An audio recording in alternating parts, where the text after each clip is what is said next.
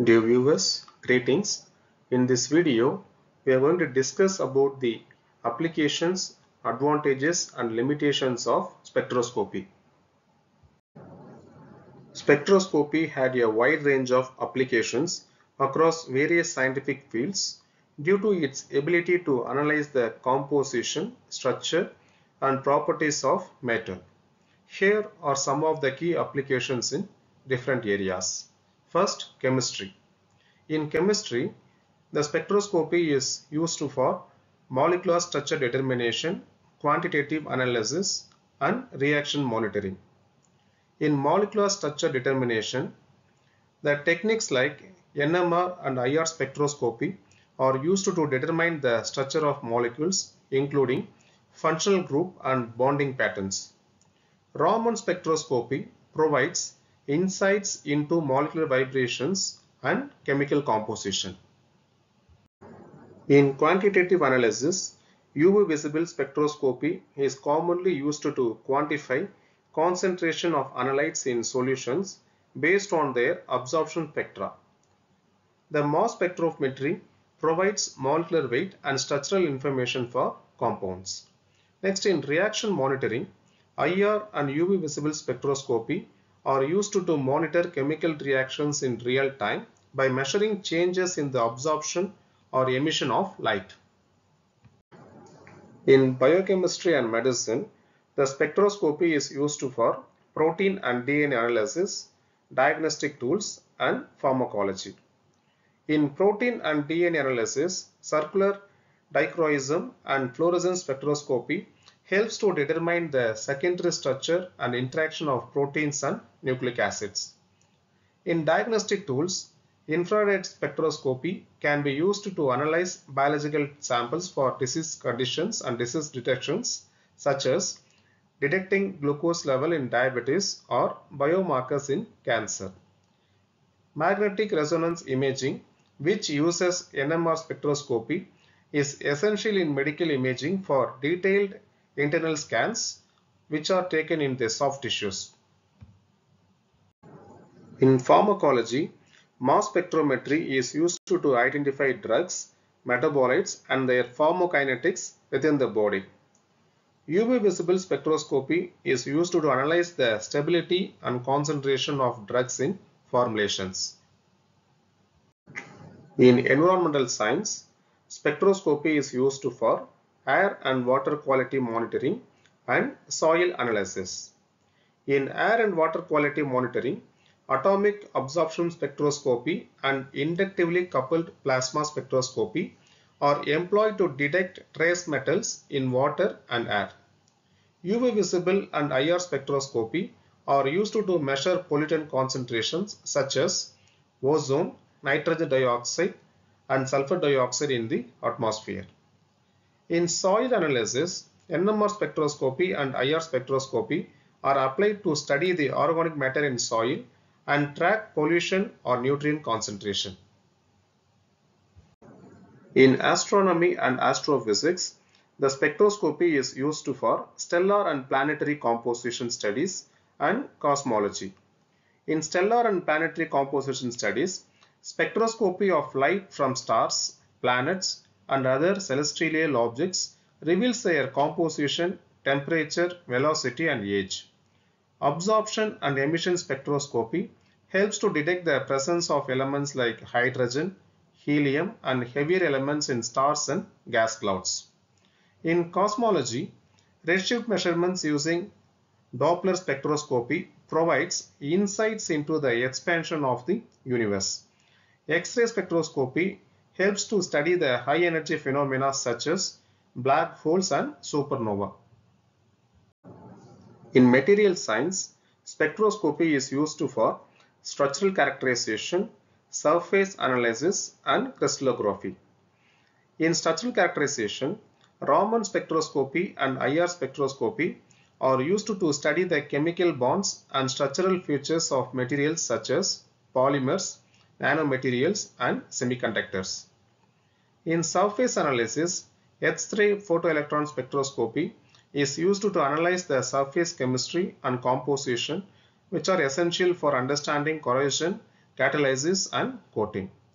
In crystallography, X-ray diffraction, a form of spectroscopy, is used to determine the arrangement of atoms in crystals.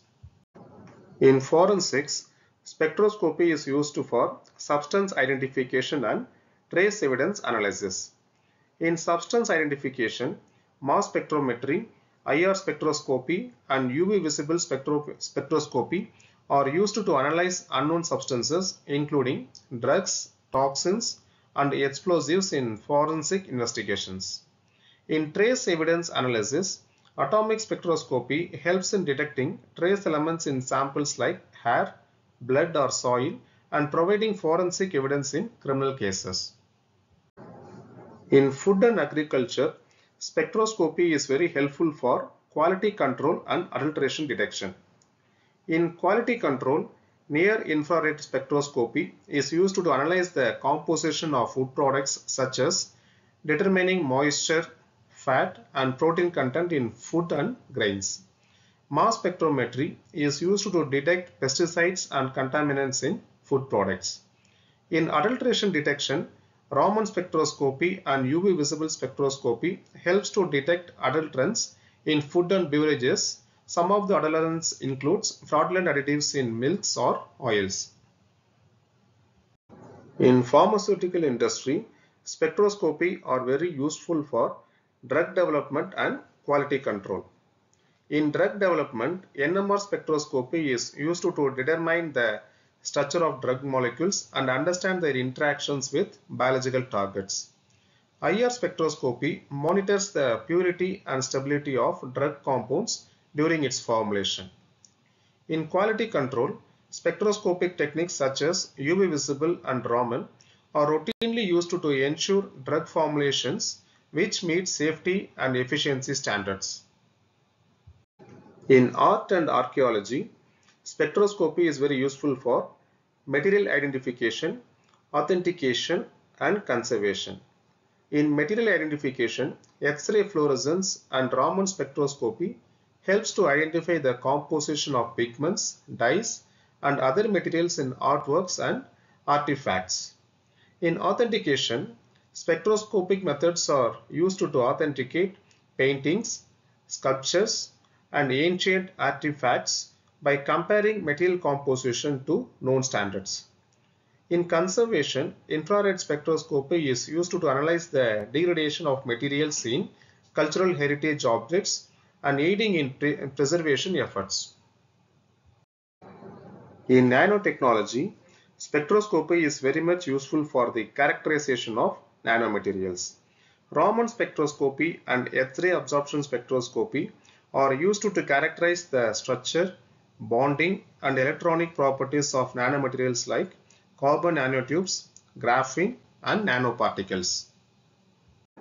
Advantages of spectroscopy Spectroscopy offers several significant advantages as a powerful analytical technique. The first advantage is non-destructive analysis. Most spectroscopic techniques do not require the destruction of the samples and allowing for valuable information to be obtained without altering the original material. The second advantage is high sensitivity. Many spectroscopic methods can detect and analyze extremely small quantities of samples, making them suitable for trace analysis. The third advantage is specificity.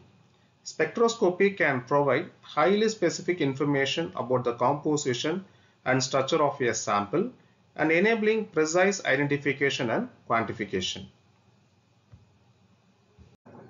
The fourth advantage is versatility. A wide range of spectroscopic techniques are available catering to different types of samples and analytical needs.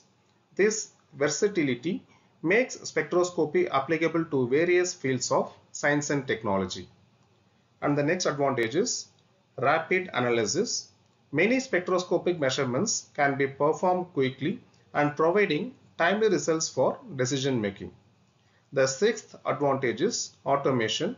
Many spectroscopic instruments can be automated, reducing the need of manual labor and improving efficiency.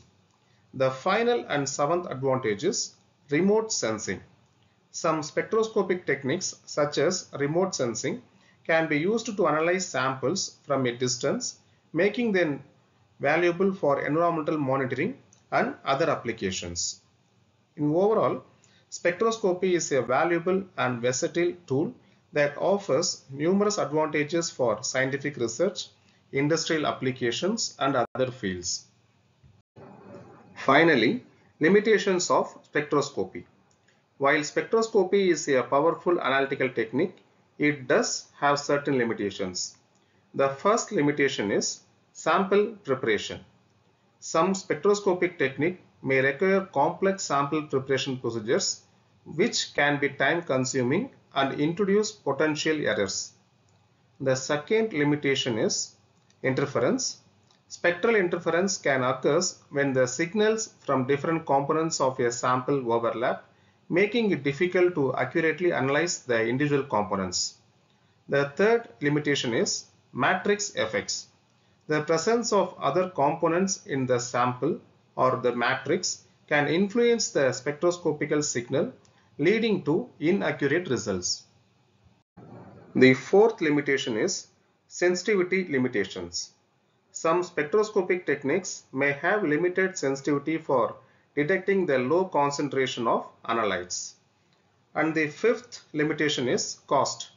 Spectroscopic equipment can be expensive to purchase and maintain and limiting its accessibility in some settings. The sixth limitation is operator expertise. Proper interpretation of spectroscopic data often requires specialized knowledge and training, which may be a challenge for non-expertise. The seventh and final limitation is environmental factors. Factors such as temperature, humidity, and electromagnetic interference can affect the accuracy of spectroscopic measurements. Finally, it is important to consider these limitations when selecting a spectroscopic technique for a particular application and to take appropriate measures to minimize their impact. Dear viewers, that's all about the applications, advantages and limitations of spectroscopy. Thank you for your support. Thank you.